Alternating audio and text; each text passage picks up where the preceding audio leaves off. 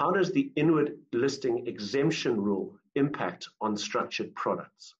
So the South African Reserve Bank exchange control regulations uh, are, are, still uh, in place. Yes, they're being sort of relaxed as time goes on, but the inward listing exemption uh, for individuals um, and corporates still exists. And basically, what that means is there's two things. There's a requirement on an issuing bank where we reference offshore indices to list that particular instrument in order to comply with uh, ex-con reporting.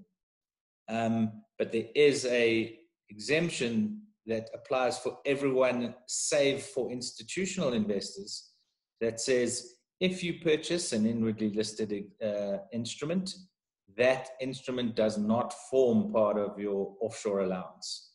So uh, there is no need um, to to go and have to go and asset swap money offshore or to go through the uh, process of applying to the Reserve Bank to to take money offshore.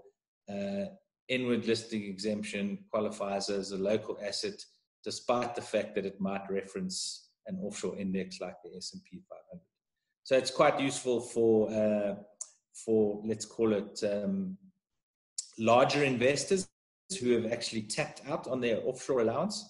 Um, and I think that is a million, uh, 11 million rand if you include the 1 million rand kind of travel allowance.